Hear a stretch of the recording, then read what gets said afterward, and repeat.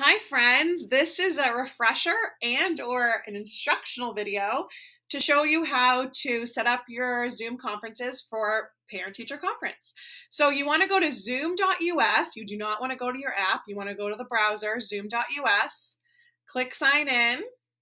Um, you do not want to put any info in here at all. I have something saved. You just want to click the G for Google. Now you click your name, and it brings you right to your meetings. You want to schedule a meeting. You might have some saved, but it might be easier to start from scratch than to fix something, but we can discuss both options. All right, I'm going to call this parents. I'm not going to give it a date because there's two dates. There's December 9th and there's December 15th.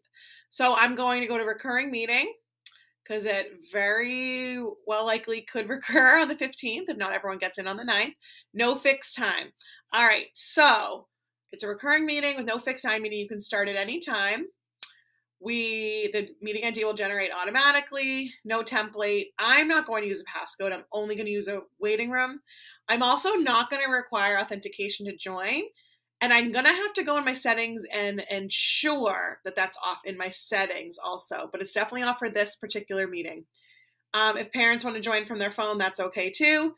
And let's check our options. Um, I'm going to not mute participants on entry. I do that for my students. Um, I don't want to block anyone and I don't want to record it. So, um, and I do not want to allow participants to join anytime because we're going to have a, a, schedule.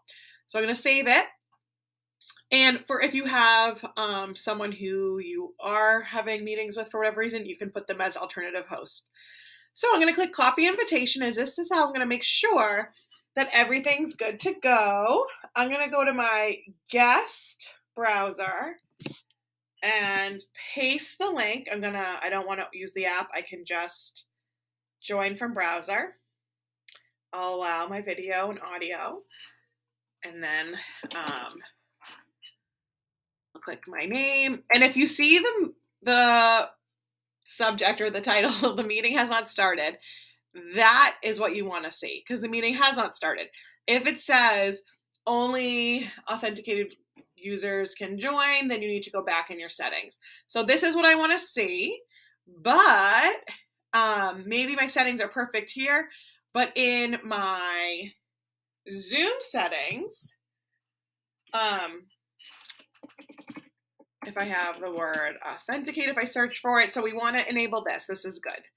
Um, and we want only authenticated users can join. We do want this disabled. If it is enabled, let's see, that will block our, so with these two things, if authenticated users can join, um, that will not be helpful to our parents. They'll be blocked from our meeting. So if I try it again,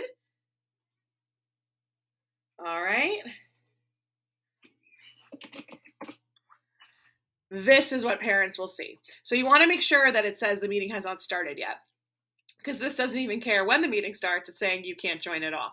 So again, we want to go to our settings and disable only authenticated users can join. This one up here too and then you're good to go. And I'm going to triple check that that link works. The reason I'm doing it in a guest browser is that I'm not nothing saved. It won't it won't acknowledge me on the Concord system. Okay. Awesome. So this is the greeting you want to see. The meeting has not started. All right. So I hope that's helpful. Have a great day and happy conferencing. Bye.